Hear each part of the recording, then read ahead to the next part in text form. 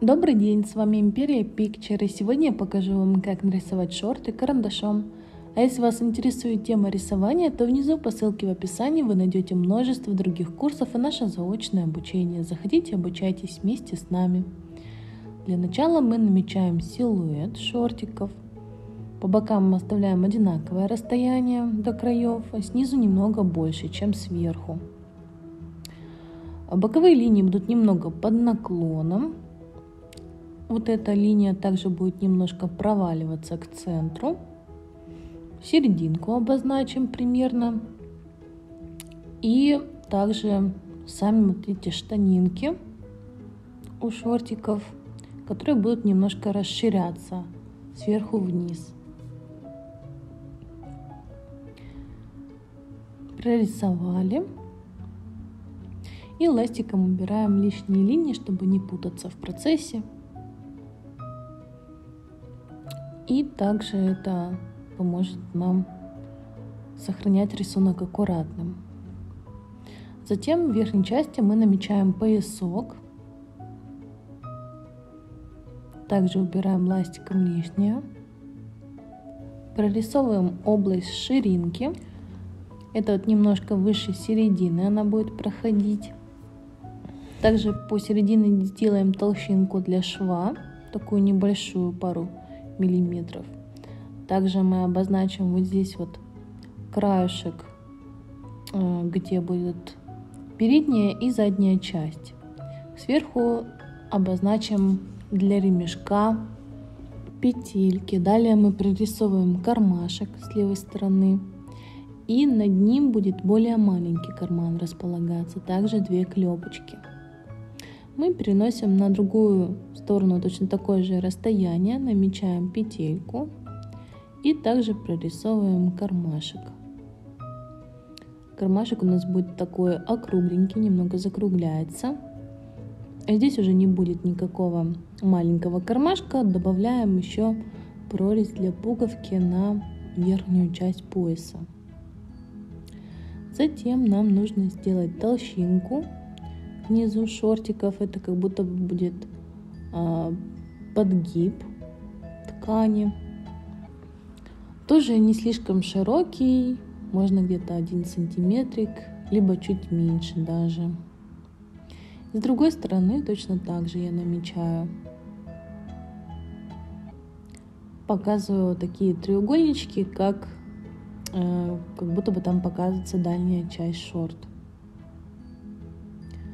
делаю закругленные края, мягкие, и в принципе начинаю штриховать в тоне. Предварительный рисунок я наносила карандашиком HB, им же я сделаю первый слой штриха аккуратным раздельным штрихом по диагонали, его немножко наклоняю, также можно штриховать по форме у краев. Э, старайтесь не выходить за края, а пока я вам напомню, что в нашей художественной школе открылось заочное обучение, и теперь вы можете не просто рисовать красивые картинки дома, а получить дополнительное образование в области изобразительного искусства и сделать свое любимое дело своей профессией. Ссылочку на заочное обучение вы найдете в описании к этому видео, и там же вы можете зарегистрироваться на бесплатные 7 дней. Ждем вас к нам на обучение. Затем мы начнем тональный разбор и начнем мы его с того, что в целом затемним джинсы, наши шортики э, с правой стороны пока что. Набираем второй слой штриха. Э, при наслоении штрихов мы э, немного изменяем его направление каждый раз. Здесь вот я наношу прям где-то три слоя по краю, особенно темнее делаю, чтобы показать отдаление от нас, такое вот закругление. Дохожу до верха, проштриховываю. Пока тоже делаю все одним тоном. Далее я тем же оттенком, тоном перехожу на левую часть и проштриховываю аккуратненько. Оставляем нетронутыми подгибы и на ширинке вот этот участок. пока что, по крайней мере, мы оставляем их нетронутыми. Левую часть я затемняю посильнее. Также возле вот этого подгиба тоже затемняю. И делаю плавную тональную растяжку наверх. При этом, двигаясь ближе к центру, с правой стороны получается вот тут я тоже затемняю. Слева и справа у нас будет затемнение, ближе к центру немножко светлее. Также я делаю и с правой штанинкой затемняю вот здесь вот кусочек такой небольшой. Теперь я возьму карандашик помягче, меня это карандаш 3B, он мне позволит побыстрее набрать нужный темный тон. Им я обозначу складочки.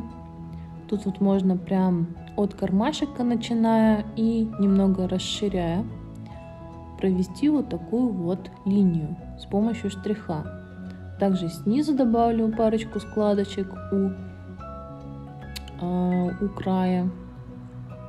И перехожу немножко наверх. Вот здесь вот возле ширинки также создаю более темную часть. И немного ее соединяю, проводя вниз. К краям Ближе к центру мы делаем плавную тональную растяжку, чтобы не было резкого перехода. Все должно быть плавненько, аккуратненько, тогда будет похоже на реальный предмет. Добавлю немного деталей, ластиком сделаю такие швы пунктирной линии наверх.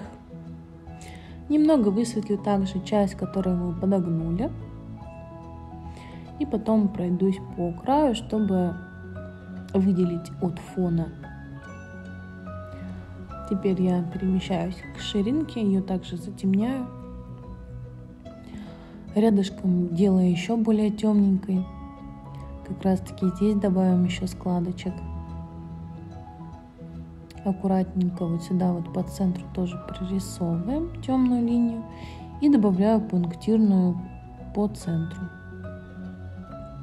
еще сильнее затемняю переход. Вот тут также добавляю складку. Как будто бы получается у меня две линии таких. Светлая широкая, потом идет тень и тонкая широкая. И снова тень. Я ее довожу низу. Точно так же, как и в предыдущий раз. Здесь вот на краю тоже прохожусь затемняю нижнюю часть шортиков. Вот тут сверху подворотика тоже затемняю и далее намечаю складки возле карманов и по правой стороне. Тут вот в принципе кармашек сверху нужно затемнить, чтобы его выделить. Как будто бы он у нас немножечко так приоткрыт и там что-то у нас находится. Ну, в любом случае будет потемнее. И второй кармашек тоже я затемняю. Оставляя светленьким только вот э, швы, которые располагаются поверху. Также добавляю пунктирную линию и клепки, обозначаю более темным тоном.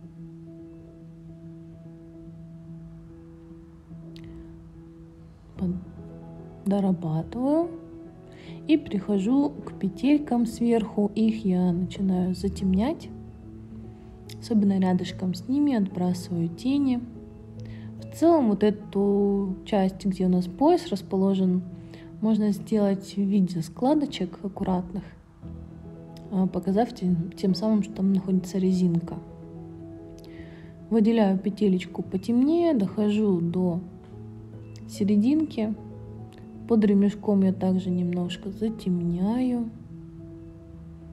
И постепенно перехожу на правую сторону. Ее я делаю еще более темной. Обозначаю прорезь для пуговки. И затемняю также далее. Оставляя светленькие петельки такими контрастными на свету. Так, нам остается в принципе не так много.